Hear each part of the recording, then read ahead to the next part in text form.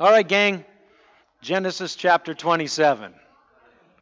Again, Father, please, my Lord, guide us through your word. Place us on your lap. Speak to us as a father speaks to his children. May, hear, may we hear what you have to say, my Lord. In Jesus' name, amen. now, Genesis chapter 27 really begins at Genesis chapter 26, verse 34. Remember that while the Word of God is absolutely inspired, and I believe it's completely inspired, the indexing system added by translators and monks afterward is not necessarily quite as inspired. And sometimes chapters break in funny places, or you find uh, information that best belongs in, in the next uh, chapter because it doesn't fit necessarily great in either. Nevertheless, in Genesis chapter 25, we looked at the, the birth and the early years of two twin brothers, Jacob and Esau. And then in chapter 26, we're sort of brought back in time before their birth when Isaac and Rebekah went to uh, Philistine country, to the city of Gerar, because of a famine. We talked about all that and, and how uh, Isaac had begun to repeat a lot of the past failures of his father. We talked about how we become like our parents. How many of you were blessed by that one? We do become like our parents, and you can you can say, "Listen, I will never be like that person." But guess what? It's it's just going to happen.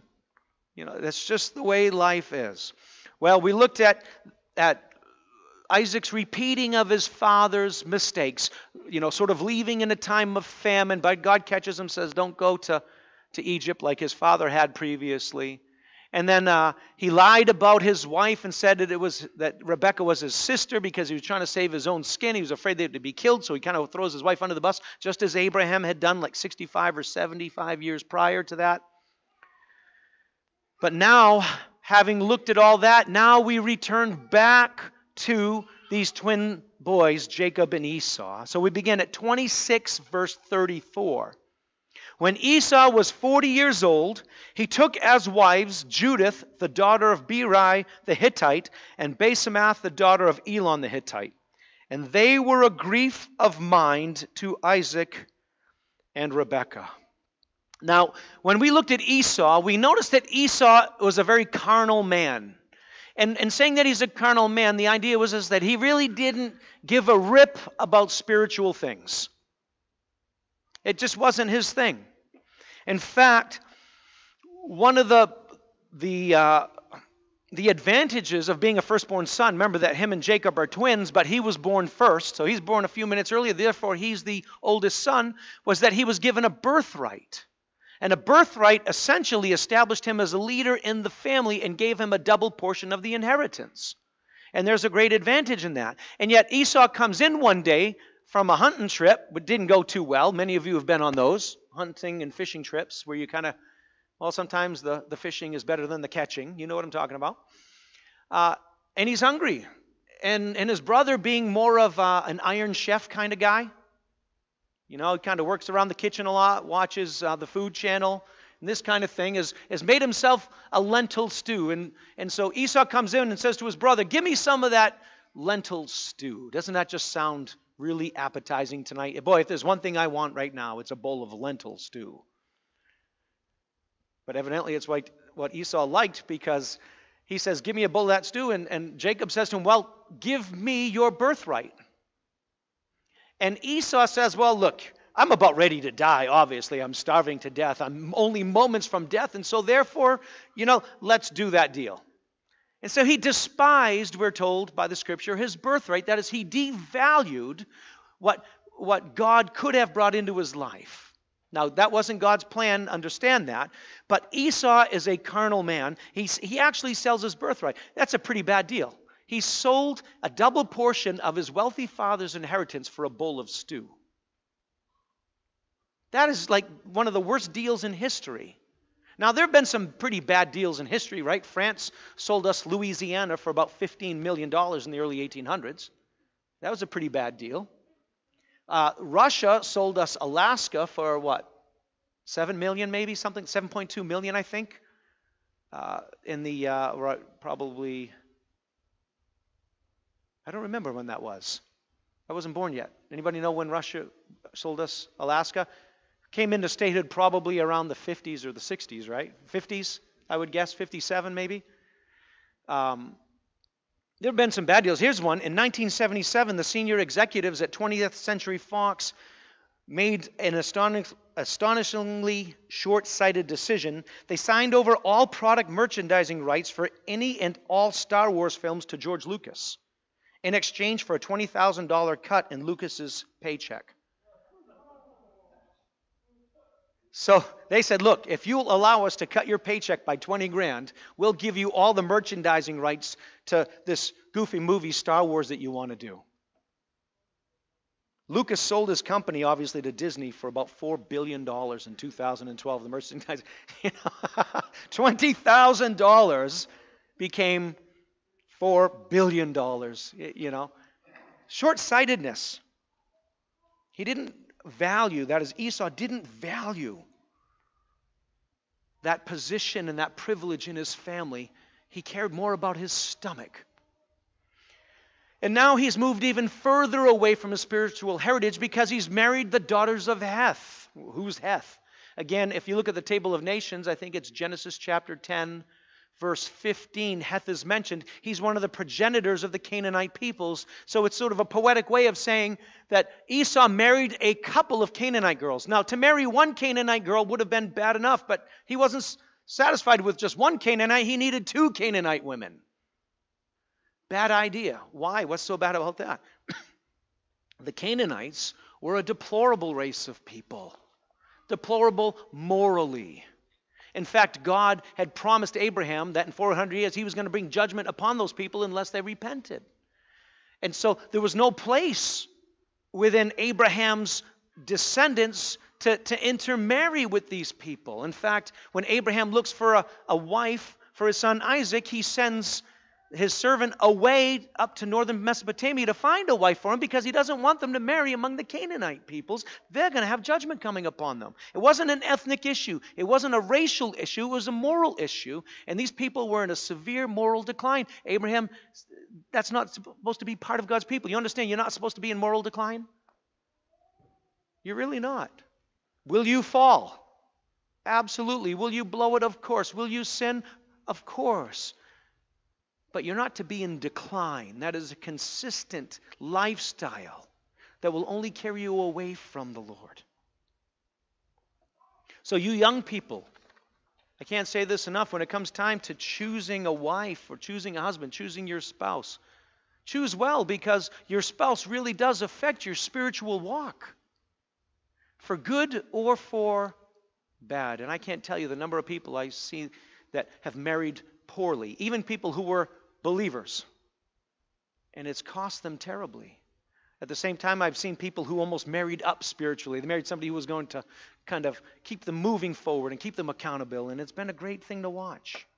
So our attention has been brought back to Esau at those last two verses of 26. Now we go into chapter 27. Now it came to pass when Isaac was old and his eyes were so dim that he could not see, that he called Esau his older son and said to him, My son. And he answered him, Here I am. And then he said, Behold, now I am old. I do not know the day of my death. Now, therefore, please take your weapons, your quiver, and your bow, and go out to the field and hunt game for me. And make me savory food, such as I love, and bring it to me that I may eat, that my soul may bless you before I die. Now Rebekah was listening when Isaac spoke to Esau his son, and Esau went to the field to hunt game and to bring it. See, Isaac at this time is getting right up there in age. It looks to me that he's about 100 years old. How many of you think 100 years old is pretty old? Listen, 100 years old doesn't seem as old to me as it used to. But I'm, I'm halfway there now, you know. I mean, I remember and, in growing up as a kid saying, wow, and in the year 2000, I'm going to be like 32 years old. You think about it, that was like 17 years ago. I survived Y2K, you know. He's, he's, he's like 100 years old, and he's going blind. And so he, he senses his age is up there. Now, you know, Abraham made it 175 years old. Evidently, Isaac doesn't think he's going to make it that long. In fact, he'll actually outlive his father by five years. He'll actually be 180 when he dies. But he's 100 years old and he's going blind. And he says, Listen, I don't know the day of my death. Esau, come to me. I've got to, I've got to give you this blessing, you see.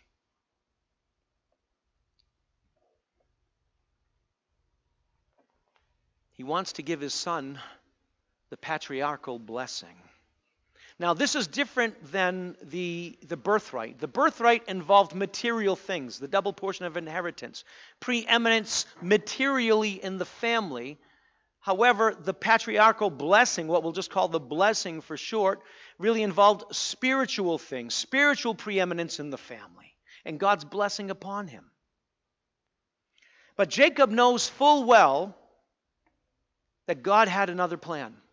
You remember back in Genesis 25, verse 23, that Rebecca, when she was carrying the twins, was, was having some difficulty with the pregnancy. She goes to the Lord and says, What's going on? And the Lord says to her, Two nations are in your womb. Two people shall be separated from your body. One people shall be stronger than the other, and the older shall serve the younger. The older shall serve the younger. God's intention was that Jacob, not Esau, was going to get this patriarchal blessing. But Esau was favored by his father Isaac, and Isaac then determined to give it to him instead. See, he's being very stubborn here, isn't he? See, now this plan of, of blessing the younger instead of the older was not the social or the spiritual norm. Usually the younger would become subservient to the older. But God, in this particular case, by his what we would call divine election, by simply by God's choice, for no other reason, that's what God wanted, was that Jacob would be the, the preeminent son and not Esau.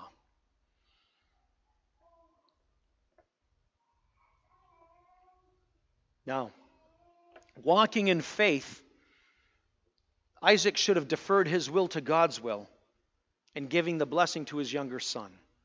But that isn't what happened. If Isaac was walking in faith, then he should have made his decisions according to what God wanted, not according to what he wanted. That's not walking in faith, that's walking in the flesh. Amen? That's seeking to satisfy this carnal man, not the spiritual man. And if you want to see God's will done in your life, then this is, this is one of the tricks here. This is one of those nuggets. You have to begin to align your life in such a way that it comes in line with what God wants. How many of you have a sense of what God wants for your life? Then what decisions are you making to align your life that way? At some point, you have to get out of the stream that you swim in and get into His stream. Does that make sense? And align your life. And as you align your life in such a way, make your decisions based upon God's will for you ultimately, you'll begin to find things begin to happen that way.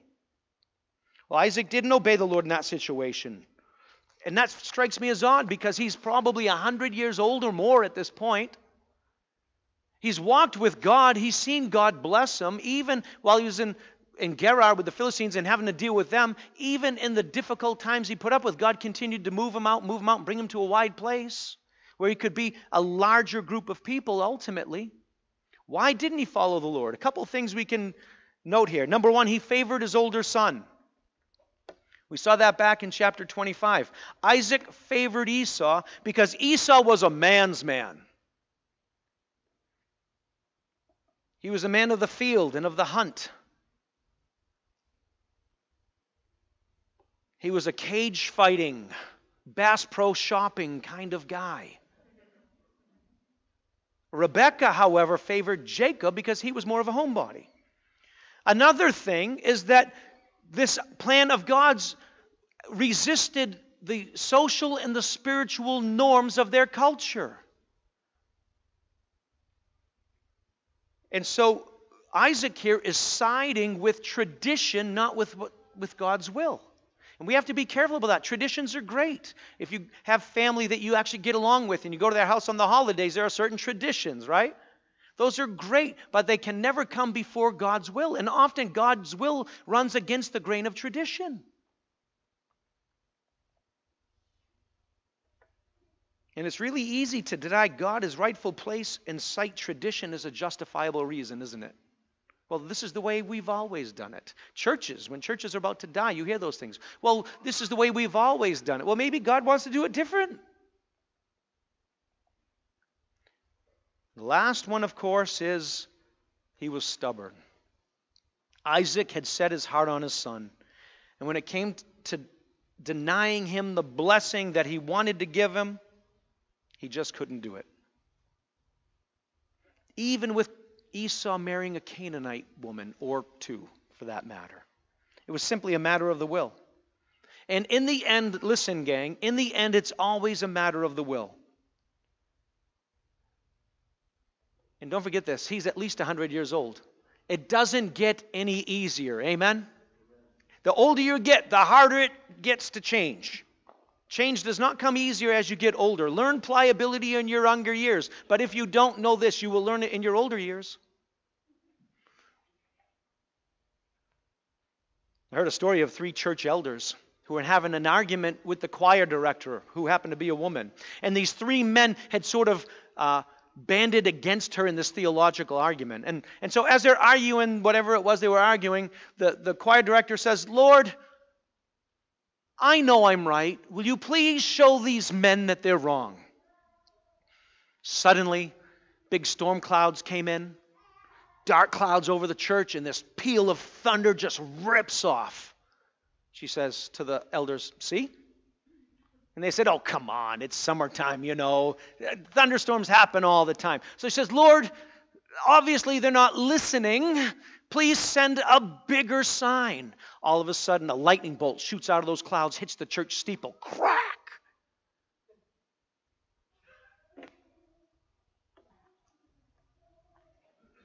She looks at him and says, Well, what do you think now? They said, Oh, come on, that's just natural phenomenon, you know. You, you can't say that's God. She says, Lord, oh, you see what I'm having to deal with here. Please send a, a more convincing sign to them. Suddenly, a deep voice utters out of heaven and says, Listen to her. She's right.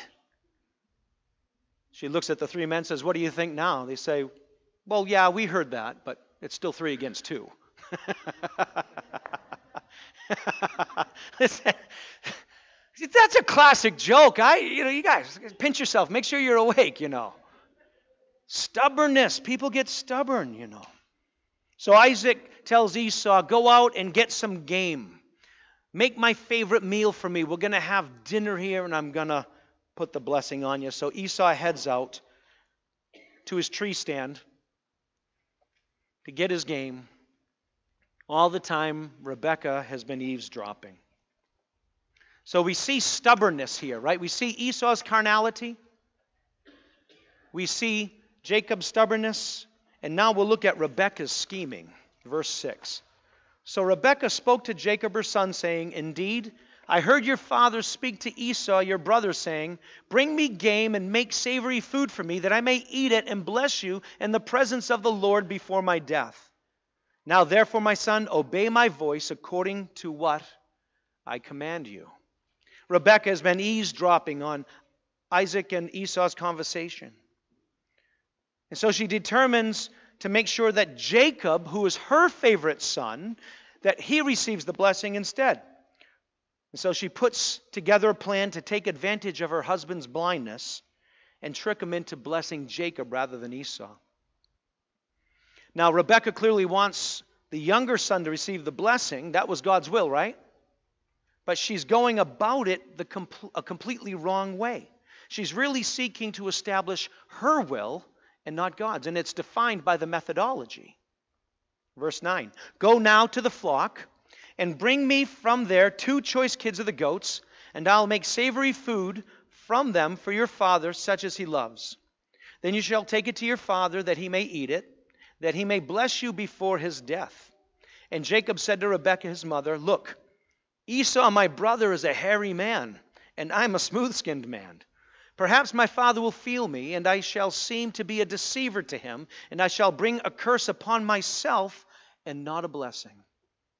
But his mother said to him, Let your curse be on me, my son. Only obey my voice and go get them for me.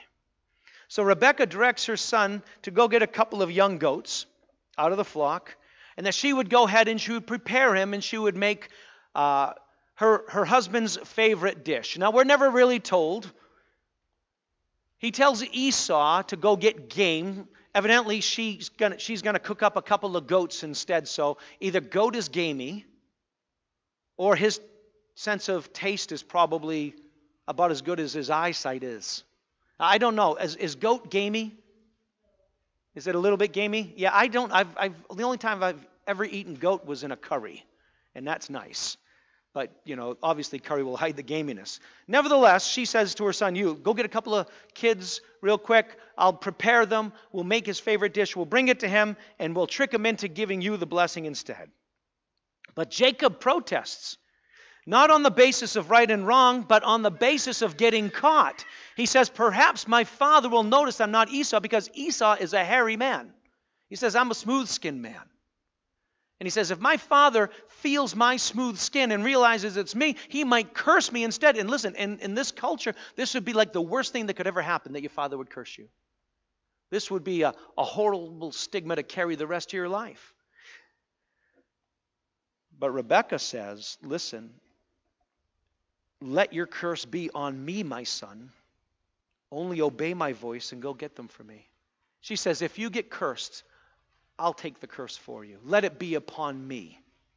And that was a fatal statement. Because most of you know this story and what happens. And in the end, Jacob will have to leave and he'll never see his mother again. Indeed, the curse came upon her. Verse 14 And he went and got them and brought them to his mother, and his mother made savory food, such as his father loved. Then Rebekah took the choice clothes of her elder son Esau, which were with her in the house, and put them on Jacob, her younger son. And she put the skins of the kids of the goats on his hands and on the smooth part of his neck. Then she gave the savory food and the bread, which she had prepared, into the hand of her son Jacob. Now, how hairy of a man would Esau have to be that she would have to take the skins of goats and put it on his hands and around his neck. I mean, I, am kind of a hairy guy. I've got one of those backs that you don't want to see. Some of you saw that horrible picture my wife posted on the internet of me. And some of you said, man, the, the purple wig was bad enough, but the hairy legs are just terrible, you know. But I don't hold a candle to Esau here. Esau is a hairy, hairy dude like George the Animal Steele. You know what I'm talking about, George the Animal Steele? You guys don't know? Professional wrestler from way, way back. Became a Christian, died only in probably recent year or so. Became a Christian later on in his life. I'm sorry if I keep making these dated references. I'm kind of carbon dating myself here, I suppose, but so she essentially cooks up this meal to trick her husband. She dresses up her son, Jacob, to trick her husband. It's all a sham, it's, it's a willful deceit. And you see here what's going on is there's a power play, there's a manipulation between Isaac and Rebekah. Isaac is doing what he knows he shouldn't be doing, and Rebekah is doing what she knows she shouldn't be doing, and each is trying to get their own will accomplished in the process. And they're really polarizing the family in the process. Verse 18 So he went to his father and said, My father. And he said, Here I am. Who are you, my son? And Jacob said to his father, I am Esau, your firstborn. I have done just as you told me. Please arise, sit, and eat of my game, that, my, that your soul may bless me. But Isaac said to his son, How is it that you have found it so quickly, my son? And he said, Because the Lord your God brought it to me. So Jacob comes in with the goat curry he offers it to his father. And his father, first of all, says, Who are you, my son? So Isaac is pretty much blind, but he's not sure if it's Jacob or Esau in front of him. And then Jacob comes really comes into his own as a deceitful kind of a guy. He answers his father and says flat out, I am Esau, your firstborn. A flat out lie. And Isaac was surprised there it's Esau because it's like, gee, man, you only just went out to get the, you know, to get the game. I mean, how good of a hunter are you? You know, are you putting apples and deer cocaine out there or something? You know, you're kind of baiting them into the property? Or how on earth did you do that? And then Jacob says this He says, I got it because the Lord your God brought it to me. Jacob just didn't just lie to his father and say, you know, I'm Esau. But he actually tries to give God credit for the deception at the same time. This is something that God has done. Look, he brought the game to me. He's giving God credit for something that God wanted nothing to do with. God had nothing to do with. Does that disturb you? Because it's been going on for thousands of years and it still goes on today. Think about the Crusades. They were all done in God's name. Did it have anything to do with God? How about the Inquisition? Or the Inquisitions, for that matter? Did they have anything to do with God? I don't think so. How about slavery in our country? Did that have anything to do with God? Oh, people brought Bible scriptures into play to justify slavery and even to justify racism today. I remember in the in the church that I got saved in, Sandy and I got saved in, a, an older couple that that had their opinions about certain races and tried to use the Bible to justify. It had nothing to do with God. It's just their own little hatred in their hearts. And it's the tendency of a lot of people in churches to give God credit for human methodologies and, and humanistic ideas. So a church will go ahead and spend a disproportionate amount of money on stained glass and water fountains and huge social events and call it the Lord's work. This is the Lord's work. I don't think they ever asked God about it. I don't think God's really impressed with stained glass. I'm not saying there's a problem with stained glass, don't get me wrong.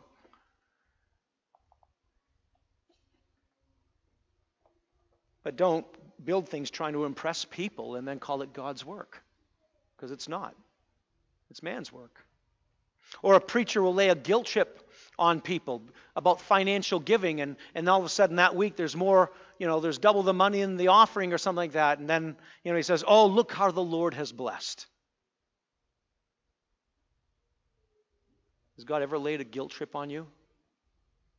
No, preachers will do that, won't they? But God doesn't lay a guilt trip on people to motivate them to do something.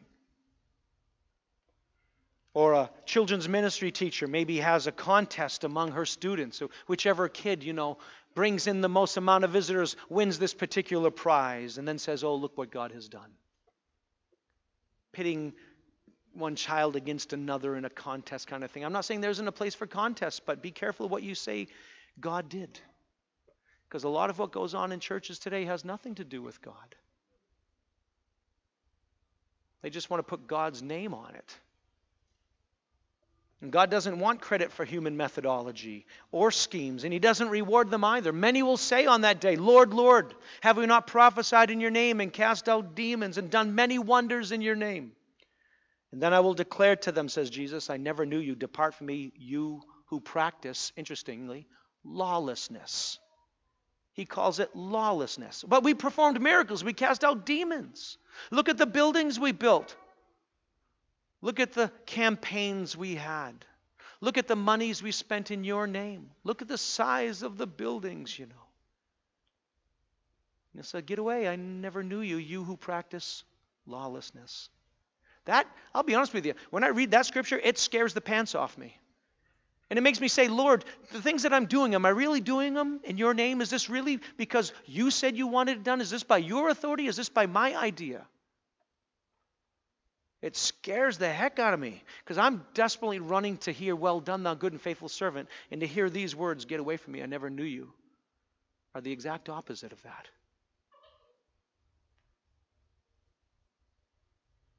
Let's make it a point, gang, at least in this body of believers, that we're not going to try to attach God's name to our junk. But let's seek Him and seek His ways seek His will and seek His power and do it to His glory and not our glory. Let's build His kingdom and not our own. Let's come here to give to Him, not to receive something of ourselves or some notoriety. Let's not touch His glory. And let's not give him credit for ours. Amen? Verse 21. Then Isaac said to Jacob, Please come near that I may feel you, my son, whether you are really my son Esau or not. So Jacob went near to Isaac his father, and he felt him and said, The voice is Jacob's voice, but the hands are the hands of Esau. And he did not recognize him because his hands were hairy like his brother Esau's hands. So he blessed him. Then he said, Are you really my son Esau? He said, I am. He said, Bring it near to me, and I will eat of my son's game, so that my soul may bless you. And he brought it near to him, and he ate. And he brought him wine, and he drank. Then his father Isaac said to him, Come near now and kiss me, my son. And he came near and kissed him, and he smelled the smell of his clothing, and blessed him, and said, Surely the smell of my son is like the smell of a field, which the Lord has blessed. So Isaac isn't really buying the ruse at this point. He's still like, you know, it kind of sounds like Jacob here. But it feels like Esau. And so he agrees to eat of the meal. So he eats of this meal. And that must have convinced him all the more. You ladies know, if you want to get something from your husband, make him a good meal. That's usually a good way to, to you know, go about that. But then he says, Come near, and he smells him and says, My son Esau, like the smell of a field, you know, a field full of sheep and goats. My son who smells like a stockyard, you know. Hmm. I don't know. I'm thinking that Esau probably didn't smell that good. Have you ever smelled a stockyard? Remember, these people are de- these are people who deal in livestock. Have you ever driven in the southern part of like Phoenix? Yeah, certain areas of California, Chico, places like that. Man, you can smell a stockyard. Uh, you know when there's animals in the field. That's just the way it goes. But he smells his son and says, Mmm, hairy hands and the smell of a field. There's my boy. And so then he buys the lie. So we've seen Esau's carnality. We've looked at Isaac's stubbornness. We look now at Rebekah's scheming. And yet in verse 28 and 29, God's will is done. Verse 28, therefore, may God give you of the dew of heaven. He's giving him the blessing here. Of the fatness of the earth, and plenty of grain and wine. Let people serve you, and nations bow down to you. Be master over your brethren, and let your mother's sons bow down to you. Cursed be everyone who curses you, and blessed be those who bless you. He gives him the patriarchal blessing.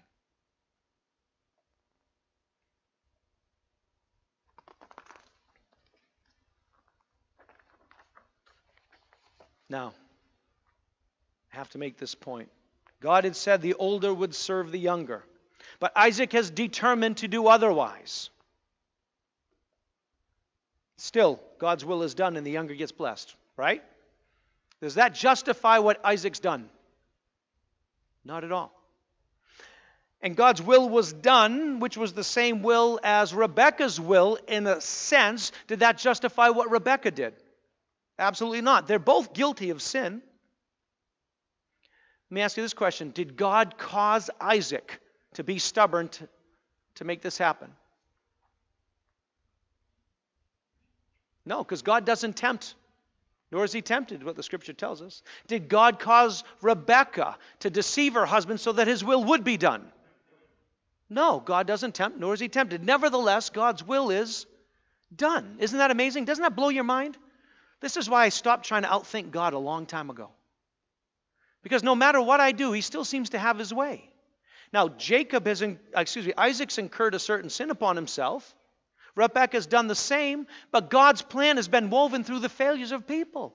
See, this is the advantage of what God has is he's looking from a completely different perspective. He stands outside of time and space, and so he sees all the decisions you're ever going to make, the good, the bad, and the ugly, and he weaves his plan through it. And you might try to frustrate God's plan in your life, but you're not going to frustrate His plan.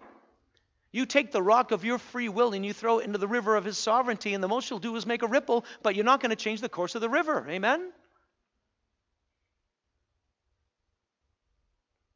And this is the one that creates so many denominations, I think. the free will of man, the sovereignty of God. And guys have been writing books and arguing this probably for six, seven hundred years now. I heard a great illustration even regarding this concept because it does kind of blow our minds, doesn't it?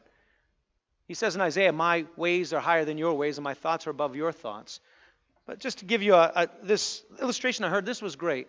This is the sovereignty of God, obviously. We're looking at that now. What's that? Are you sure? No. Someone knows they're going to get tricked right now. Okay, let me ask you is that a circle? Is it a square? Is it a diamond? It's a it's a triangle, isn't it? Okay, so what's this? It's a circle. Is it a triangle? No. Is it a diamond? Is it a square, a rectangle, a parallelogram, or whatever those things we all learned in plane geometry decades and decades ago? See, that's a triangle. That's a circle. They are mutually exclusive to one another, right? Okay, what happens here? Right, it's a triangle and it's a circle, right? See, if you look at it on one plane, it's a triangle. You look at it from another plane, it's a circle. So, two mutually exclusive things can actually be true. What's the difference? Yeah, dimensionality. See, God stands outside our dimension. And so, therefore, things that we can't rationalize, things that seem mutually exclusive to us, can still be true to Him because he stands outside of our sort of three dimensional aspect. He's got a totally different dimension. It's the dimension of time. He's not subject to it like you and I are. I heard this. Uh, this is interesting. In the waters around Greenland, there are a lot of icebergs, right? Some of them are little, and some of them are large. But if you observe them carefully, you'll notice that oftentimes the little ones move in a different direction than the big ones. They move in completely different directions, even though they're in the same proximity. Why is that? Because the little ones get caught up by the prevailing winds. The bigger ones, because they go deeper, get picked up by ocean currents. You see? The winds represent everything changeable, everything unpredictable, everything distressing in our lives. But operating simultaneously with the gusts and the gales is another force that's even more powerful. It's the sure movement of God's wise and sovereign purposes, the deep flow of his unchanging love. Unlike an iceberg, however, you can go deep and you can get picked up in the current of God's will, in the current of God's love, and not have to be blown about by sort of the winds of change, the difficult times of life. They don't have to change your course you can go deep and get picked up by his current.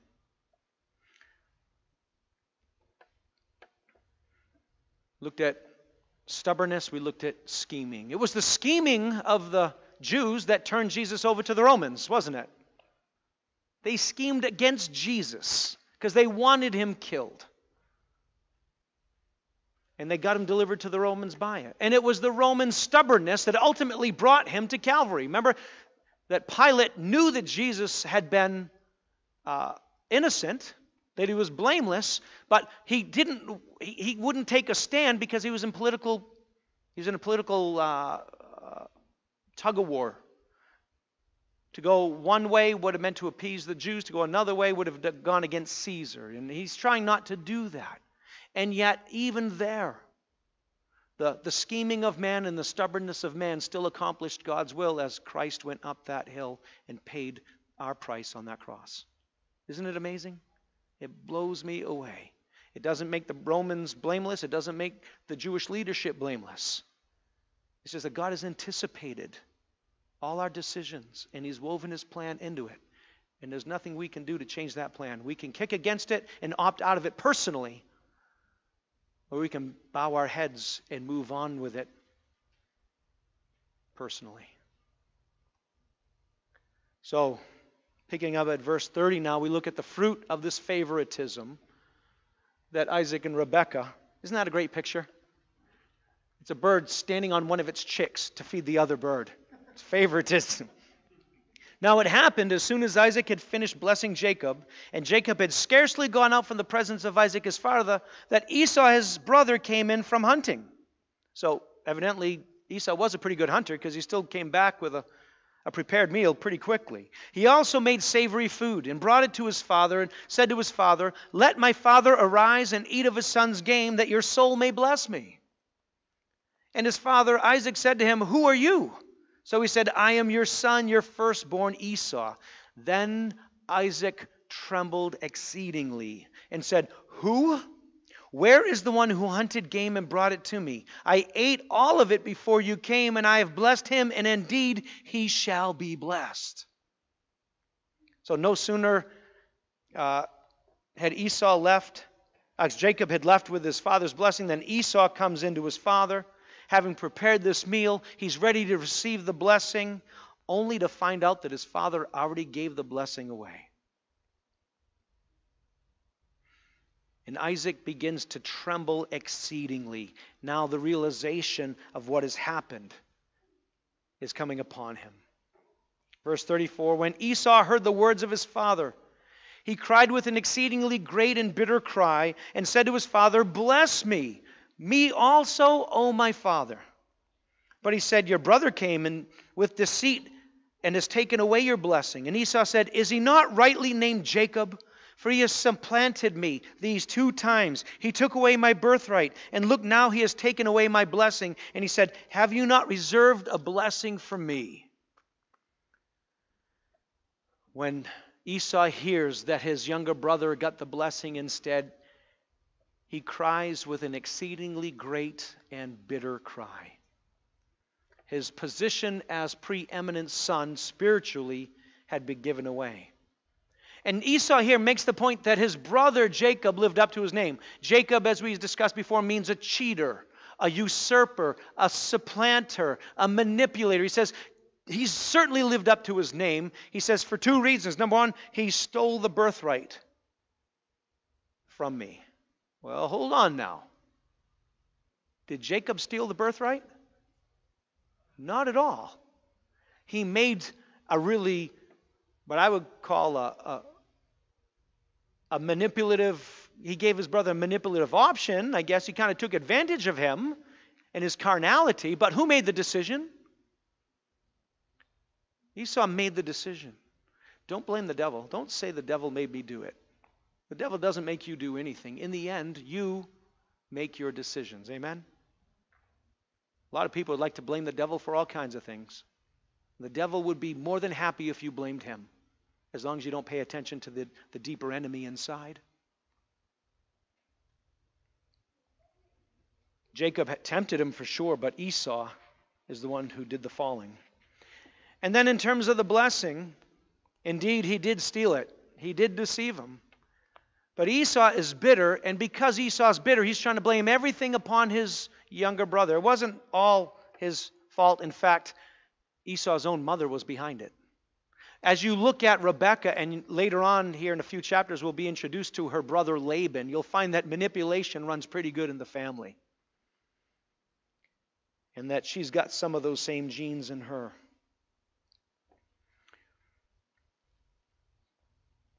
Now Esau is crying about what's happened. But he's crying about his situation, but not crying about his choices. He's crying because things didn't go his way, but he's not crying about his lack of character.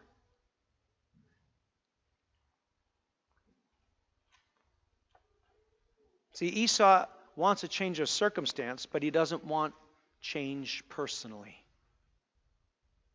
And that just doesn't happen in the Christian life. You have to understand, Christian, that God cares much more about your character than he does about your circumstances.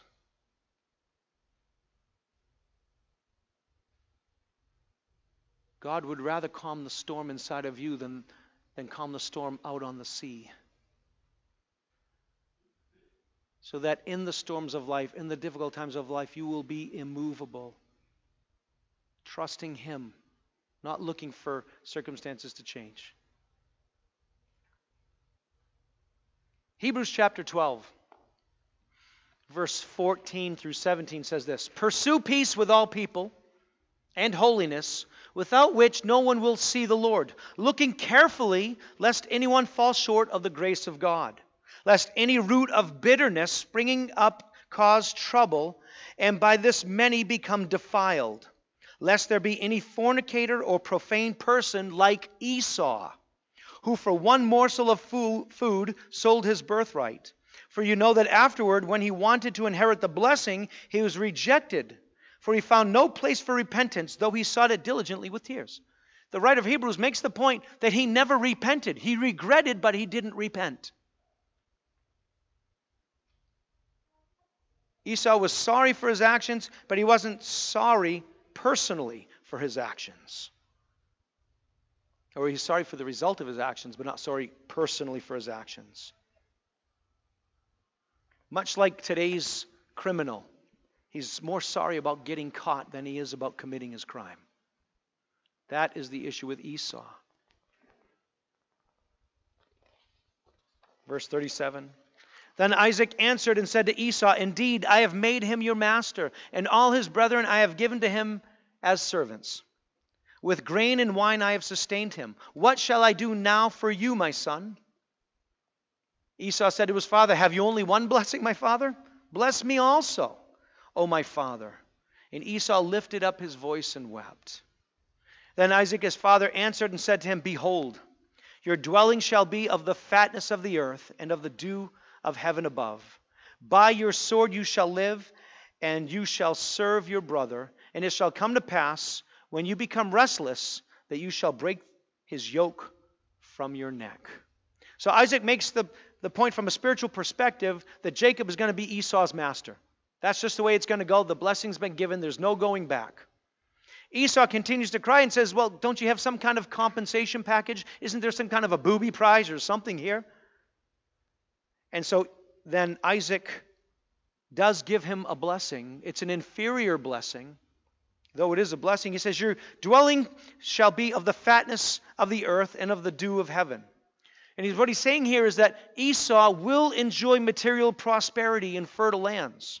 As you know, he fathers the Edomites, and it is a fertile area just to the east side of this Jordan, down south. He says, By your sword you shall live. And of course, the Edomites, as you guys know, would become raiders. They have a very fertile land, but they would go out and they would raid other people groups in the area.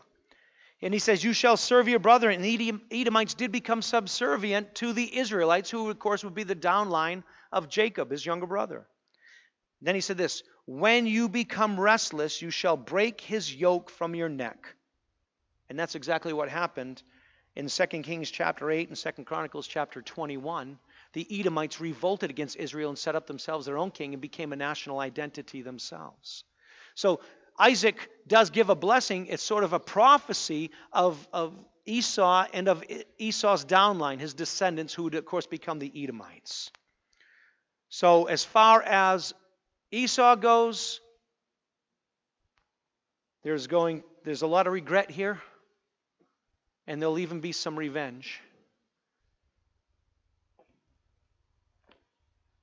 Because of the polarization that's occurred in the family because of the carnality of their own parents. Now, verse 41, we look at Jacob's exile. So Esau hated Jacob because of the blessing with which his father blessed him. And Esau said in his heart, The days of mourning for my father at hand, then I will kill my brother Jacob. And the words of Esau, her older son, were told to Rebekah. Excuse me. So she sent and called Jacob, her younger son, and said to him, Surely your brother Esau comforts himself concerning you by intending to kill you. Now therefore, my son, obey my voice. Arise, Flee to my brother Laban in Haran, and stay with him a few days until your brother's fury turns away, until your brother's anger turns away from you, and he forgets what you have done to him. What? His mother was behind all this. And she says, What you have done to him. Then I will send and bring you from there. Why should I be bereaved also of you both in one day? So Rebekah, having been told of Esau's plan to kill Jacob after his father dies, then says to her son, Listen, you got to get out of here. Things are pretty hot in the house. You need to move up north, go to northern Mesopotamia to my brother Laban. Until things cool off here a little bit. And she says, And then I'll send for you to come back. Two things to consider here. His curse was upon her. She never does see him again. It ends up that Jacob will spend 21 years in Haran under the tutelage of Uncle Laban. See, Uncle Laban is the dean of the school of hard knocks. And Jacob's been a manipulative person, and you know, there's one thing, one way to t- t- teach a manipulative person that's let them get manipulated. And Uncle Laban is going to take his young nephew to school. He's going to teach him some lessons. So she never does see her son again. We're never really told of her death. We only know that when he comes back, Isaac is, is a widower. What a terrible thing. In her mind, it's going to be for a few days. In God's plan, it's going to be over 20 years. And then Jacob is going to enter the school of hard knocks. See, God's got a plan for Jacob. Jacob's not a good, a good son. You understand that. He's a mommy's boy. I'm not saying being a mommy's boy is a bad thing. So please, no hate mail, ladies. But he is a manipulator, and he does take advantage of his brother. And he didn't have, he could have stood up against his mother and said, No, I won't do this, but he didn't. But thankfully, that's not the end of the story. Because 20 years from now, these two brothers will meet again. And Esau won't be bitter. And Jacob will be on his way back home. And there's always that great hope. Maybe you've been pretty stubborn in your life.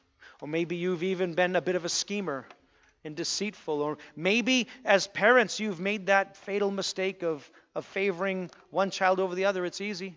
Some kids make it really hard to love them. But there's this great hope that God isn't done yet. Jacob's growth as a believer is, is really about to take place now. The next 20 years, God will be working on him. And that's where we're going to go to now. You see, the, the, the Abrahamic covenant has moved from Abraham to Isaac, and now here in chapter 27, it's moved from Isaac onto Jacob.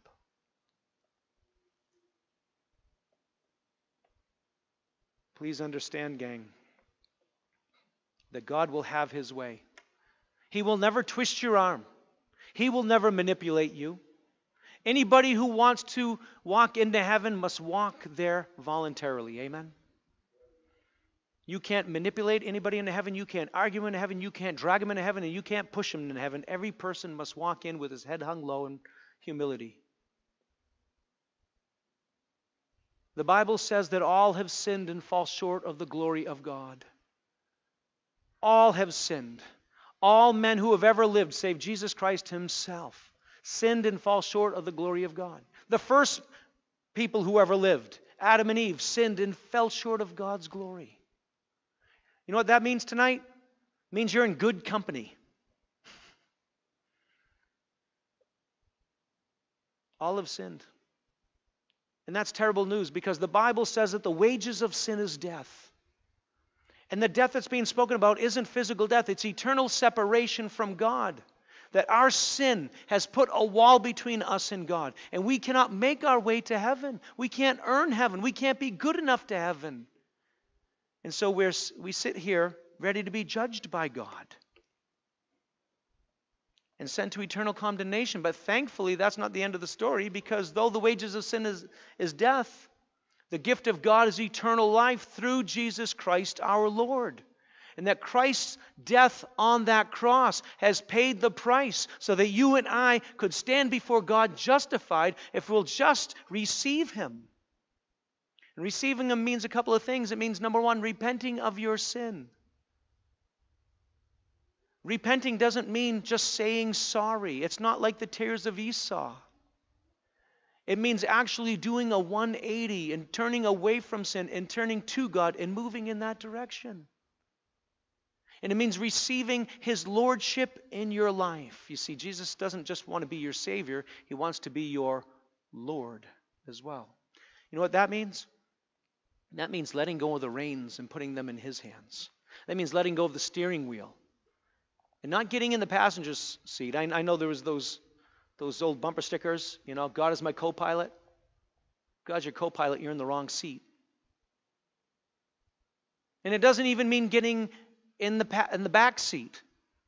Get in the trunk. Give him the keys and say, Lord, wherever you want to go, let's go. So the Bible says in Romans chapter 10 that if you confess with your mouth that Jesus Christ is Lord and believe in your heart that God raised him from the dead, you will be saved. Not because you're good.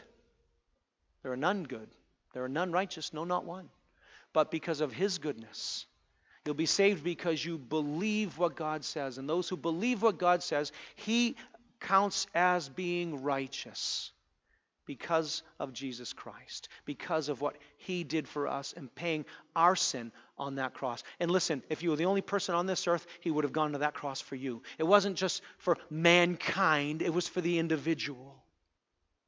When Jesus Christ went to that cross, he paid the sin for my belligerence, for my rebellion, for my foul mouth, for my manipulative ways, for my pride.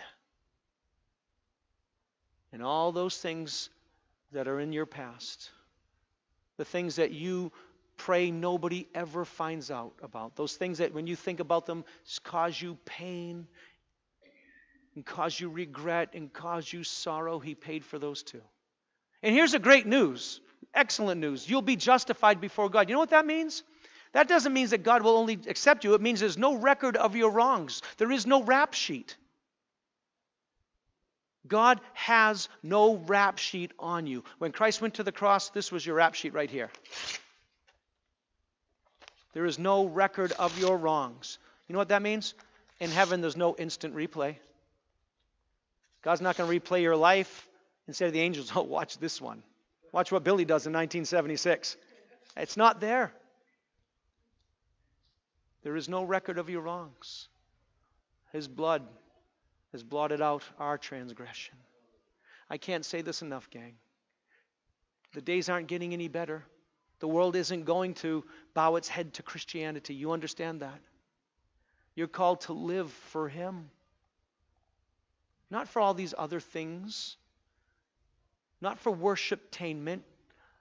You were saved from the slavery of sin and been set free to serve Him. Freedom not to do as you want, but the freedom to do as you ought. If you haven't received Jesus Christ in your life, I've got terrible news. You're going to hell. However, I've got great news. If you want to receive Jesus Christ as your Lord and Savior, I'll be here and I will gladly pray with you and we'll talk about these things. But don't leave here tonight not knowing for sure that your account with the Father has been settled. And it's only a prayer away. How far is God from us? Just a prayer away.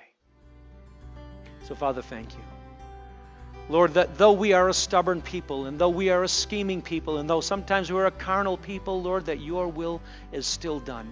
I thank you, Lord, that your plan has never depended on the faithfulness of men. But depends wholly upon your faithfulness. Still, I thank you that you've called us to yourself. Lord, that uh, you've allowed us to serve alongside of you.